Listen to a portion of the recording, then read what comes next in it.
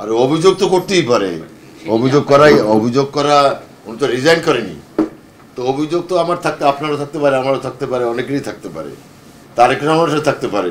যে বেগম জি ওনাকে ফুল ফুলে যে চেয়ারপারসন কেন করে না? আমেরিকান সিটিজেন ছিলেন। যেহেতু বাংলাদেশের মন্ত্রী হলে থাকতে পারেন না, ওটা উনি সারেন্ডার করেছে। ওনার স্বার্থে করেছে। ওখানে তো মোশাররফ নামে এক ভদ্রলোকের নমিনেশন দেওয়া হয়েছিল। এবং দুই হাজার আঠারো সালে এসানকে তো নমিনেশন দেওয়া হয়নি। একজনকে তো বারবার নমিনেশন দিতে হবে, এমন তো কথাও নাই। এসানুল হক মিলন, ভদ্রলোক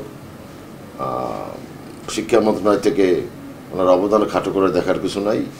আর gentleman Ehsanul Haque comparatively junior politician জিয়ার হাত ধরে রাজনীতি করছেন, সেই সেভেন্টি সেভেন সেভেন্টি এইটে আমার মনে হয় না। তবে উনি তো বেগম জিয়ার কাছের লোক ছিলেন, তারেক রহমান সাহেবের কাছের লোক ছিলেন, আমরা যতখানি জানি।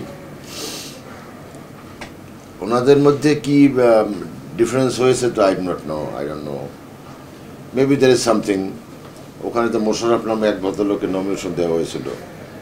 এবং দুই হাজার আঠারো সালে এসানকে তো নমিনেশন দেওয়া হয়নি। মেবি এই জন্যই ওয়েল একজনকে তো বারবার নমিনেশন দিতে হবে, এমন তো কথাও নাই।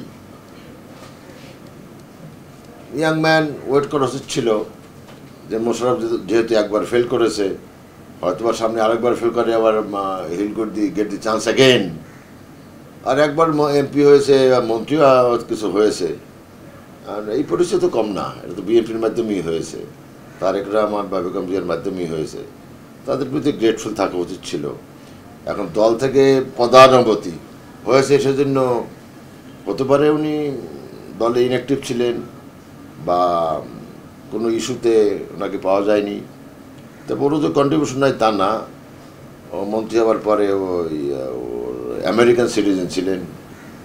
যেহেতু বাংলাদেশের মন্ত্রী হলে থাকতে পারেন না, ওটা উনি সারেন্ডার করেছে। ওনার স্বার্থে করেছে।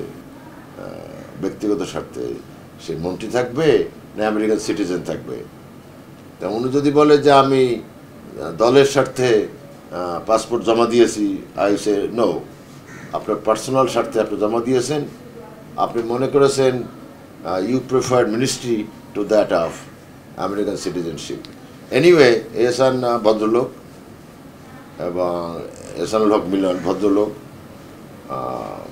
শিক্ষা মন্ত্রণালয় থেকে ওনার অবদান খাটো করে দেখার কিছু নাই। আর জেন্টলম্যান হয়তো মান অভিমান হয়েছে, এরকম আমাদের অনেকেরই হয়। হয়তো ইন ফিউচার ইট সেটেল হয়ে যাবে। আর অভিযোগ তো করতেই পারে। অভিযোগ করাই অভিযোগ করা উনি তো রিজাইন করেনি। তো অভিযোগ তো আমার থাকতে, আপনারও থাকতে পারে, আমারও থাকতে পারে, অনেকেরই থাকতে পারে। তারেক রহমানের থাকতে পারে যে বেগম জি ওনাকে ফুল ফুলে যে চেয়ারপারসন কেন করে না? এ সমস্ত চিন্তা করতে লাভ হবে না। অভিযোগ থাকতে পারে মনক্ষুণও থাকতে পারে। তারপরে যদি এতই মনক্ষুণ্ণ হয় দেন হি শুড রিজাইন বাপের বেটার মতো। দলেও থাকবা, আর সিনিয়রদের সমালোচনা করবা it doesn't go all together